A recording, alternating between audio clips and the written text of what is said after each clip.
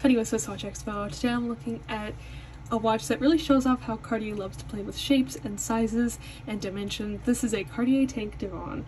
The Tank Divan is definitely a take on their more popular Cartier Tank Francais and this one really is a very playful option.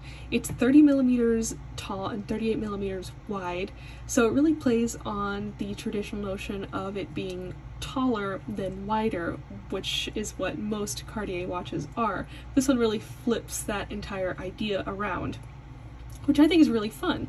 And to me, that makes it a really wonderful choice for kind of a playful, everyday sort of watch, especially because it elongates and stretches out the actual dial as well, which is a really neat look.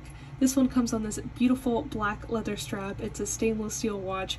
It has a lovely silver dial, and like I said, it's got these kind of stretched out traditional Cartier watch, so it's a lot more playful all around.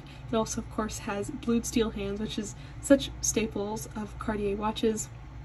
And all around, I think this would be a really great choice for an everyday wear piece because I just think it's a really unique, kind of eye-catching piece, something you don't see all the time. And so if you have more of a playful personality, you want something that's a little bit off the beaten path but still evokes that more traditional look of Cartier, definitely check out this one because we don't have a ton in stock. They're a little bit more rare and unique.